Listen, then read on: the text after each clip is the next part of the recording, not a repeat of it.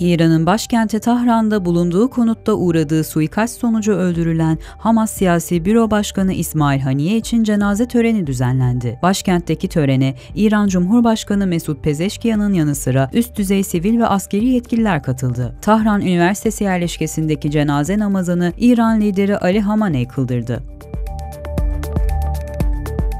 Kısıtlı sayıda kişinin alındığı namaz alanına girebilmek isteyen binlerce kişi üniversite kapısında bekledi. Namaz sonrasında kalabalık üniversitenin yanındaki İnkılap Meydanı'nda ve bölgeye çıkan yollarda toplandı. İsmail Haniye, Tahran'daki törenin ardından yarın Katar'ın başkenti Doha'da defnedilecek.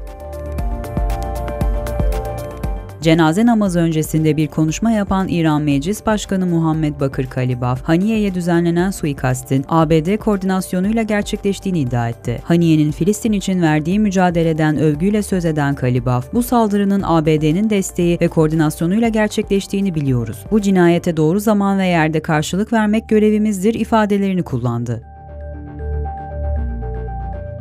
Hamas lideri Haniye'nin Tahran'da uğradığı suikast sonucu hayatını kaybetmesi Gazze'de aylardır süren ateşkes sürecini sekteye uğrattı. Uzun süren müzakereler sonucunda karara bağlanan ve her an yapılması beklenen ateşkes süreci belirsizliğe girdi.